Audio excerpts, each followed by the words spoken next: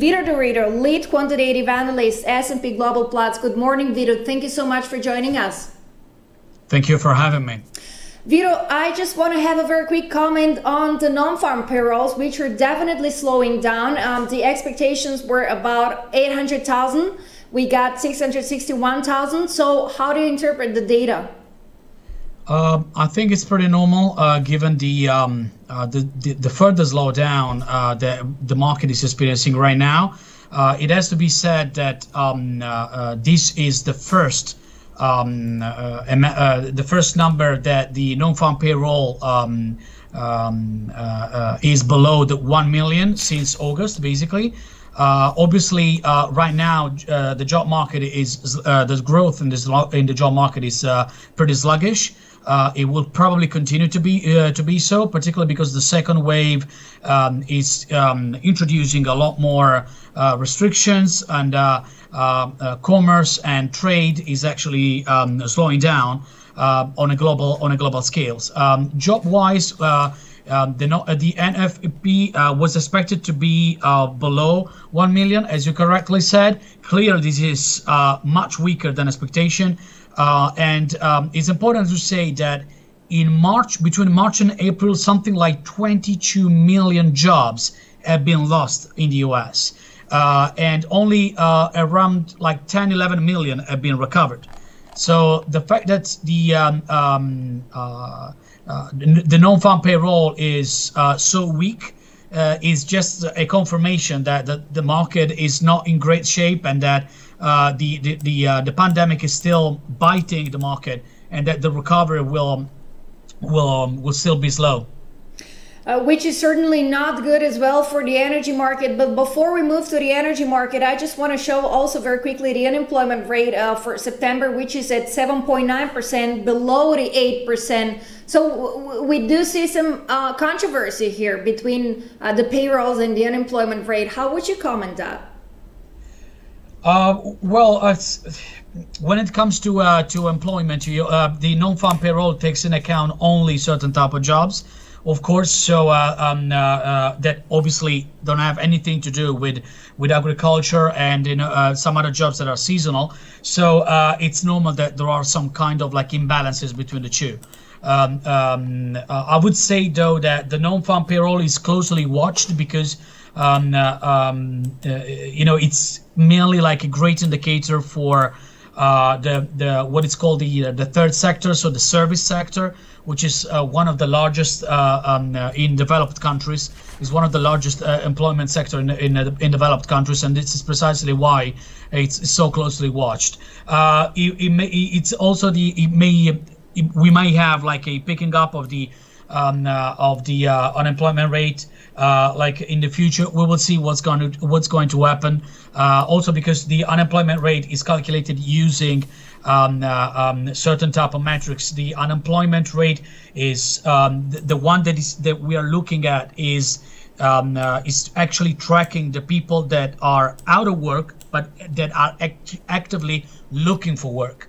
Uh, but it, it, it, does not count, for instance, people that are out of work but are not looking for work or they stop looking for work. So it's it's a very uh, um, uh, it's a very specific and uh, um, uh, I would say technical um, um, technical indicator when it comes to um, to um, to to the job market. That's why I'm saying it may take a little while for for the two to match but uh, the non-farm payroll is more accurate when it comes to uh, uh, month in month out. It, it's it's a better um, it's a better indicator. So um, let's just move very quickly to the energy sector. We did uh, we do see a little bit of decline when it comes to crude oil prices today. Uh, the WTI is trading thirty six dollars per barrel, which is off about uh, four point twenty seven percent. The Brent is trading at thirty nine dollars per barrel and off by four point thirteen percent. So there is a little bit of downturn. If we consider the macroeconomic data globally, because then we, we saw some bright spots coming from uh, Europe when it comes when it comes comes to PMI manufacturing. Uh, so I was wondering, what is the macro data suggesting in terms of crude oil price recovery? In a sentence, uh, slow growth. Slow growth. This is gr slow growth. This is basically like the, the shortest answer I can possibly give you. Uh, the demand for um, the remainder of the 20, of uh, 2020 uh, was weaker, and it actually uh, it's going to be probably even weaker than expected. Um, so uh, the uncertainty is the, uh, the the buzzword right now in the mar- in the in the crude oil market. A lot of people are are we are expecting the um, this uncertainty to persist uh, throughout the, um, uh, the the whole month of October, November, and December. Uh, and um, uh, things may, I mean, the, this slow growth can also be a key theme also It looks like we lost Vito Turitto. There is some um, technicalities over there. Let's just have a very quick look. Okay, we have him back on the line. Vito, are you there? Yes, I'm here. Yeah, go ahead. We we we've lost you for a second. This is something that can happen, obviously, during these uh, crazy times. Absolutely. Uh, that's the beauty of, uh, of of live television.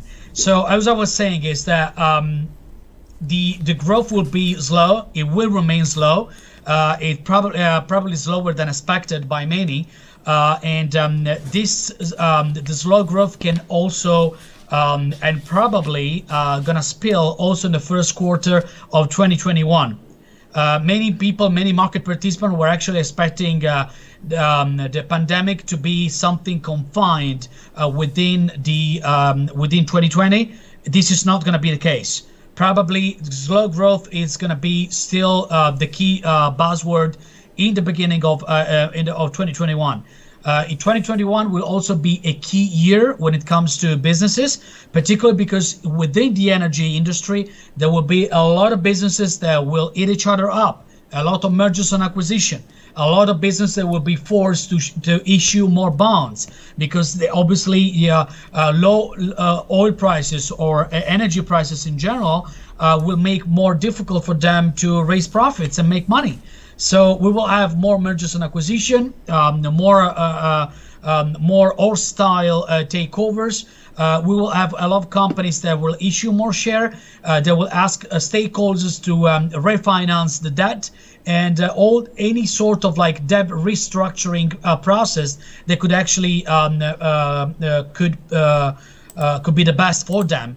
But this is probably what's going to happen in 2021. At the moment, demand was weak and it will remain weak, uh, not just for crude, but particularly for some crude products, um, in particular uh, jet fuel oil.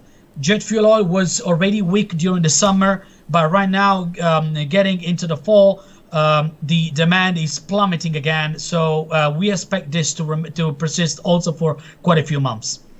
Uh, we, we, we saw some very important signals from uh, major oil companies, uh, which are definitely under pressure. A lot of companies cutting uh, jobs, and not only a stock index of US oil and gas companies is down about 57% yesterday, closed off by almost 3%. Uh, what does it mean about the single companies? I'm referring to the major giants like um, we, we can just pick up a few of them in terms of US companies like Exxon, Chevron, etc.